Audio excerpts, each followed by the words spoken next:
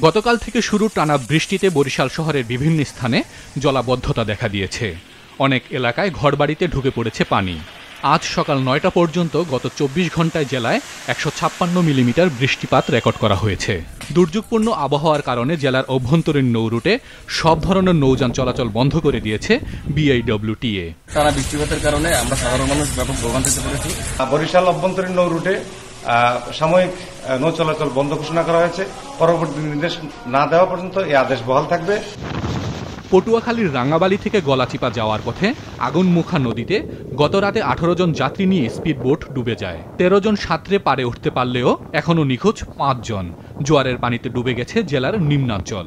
উপকূলীয় এলাকার বাসিন্দাদের আশ্রয় কেন্দ্রে যেতে বলেছে প্রশাসন। আমাদের উপজেলা, ইউনিয়ন এবং গ্রাম পর্যায়ে আমাদের চ্যানেলে আমরা মেসেজ দিয়ে দিয়েছি, আমাদের সকল আশ্রয়কেন্দ্র খোলা থাকবে এবং আমাদের মনিটরিং এবং তত্ত্বাবধান থাকবে। সেখানে নিরাপত্তা এবং খাদ্যের ব্যবস্থা করা হবে।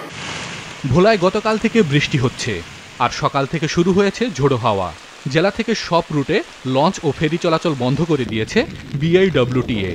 কোস্টগার্ড নৌ পুলিশ, জেলা পুলিশ, সকল আইন শৃঙ্খলা বাহিনী, জেলা প্রশাসন সমন্বিতভাবে এবং আমাদের ফায়ার সার্ভিস। সমন্বিতভাবে আমরা উদ্ধার কার্যক্রম করে থাকি, এবারও সেই প্রস্তুতি নেওয়া হয়েছে। এবং কোনো জনগণকে যদি আশ্রয়কেন্দ্রে নেওয়া হয়, সেখানে আবার পৌঁছানোর পরে তাদের দেখাশোনার জন্য আমরা টিম গঠন করে রেখেছি। চট্টগ্রামে গতকাল দিনভর টানা বর্ষণের কারণে পাহাড় ধসের সতর্কতা জারি করেছে কর্তৃপক্ষ। পাহাড়ের পাদদেশে বসবাসকারীদের সরে যেতে মাইকিং করছে জেলা প্রশাসন। তাদের সরিয়ে নিতে খোলা হয়েছে পনেরোটি আশ্রয় কেন্দ্র মানুষজনকে সরানোর জন্য জেলা প্রশাসন চট্টগ্রামের পক্ষ থেকে অভিযান চালানো হয়েছে এবং তাদেরকে নিরাপদে সরিয়ে নেওয়ার জন্য যে কার্যক্রম, সেটি অব্যাহত রয়েছে। বঙ্গোপসাগরের সৃষ্ট গভীর নিম্নচাপের প্রভাবে উপকূলীয় এলাকায় স্বাভাবিকের চেয়ে তিন থেকে পাঁচ ফুট বেশি উঁচু জলোচ্ছ্বাস হতে পারে বলে জানিয়েছে আবহাওয়া অফিস। সাগর উত্তাল থাকায় মাছ ধরার নৌকা ও ট্রলারকে উপকূলের কাছাকাছি থেকে সাবধানে চলাচল করতে বলা হয়েছে। Hasan Mehedi Maasranga news desk.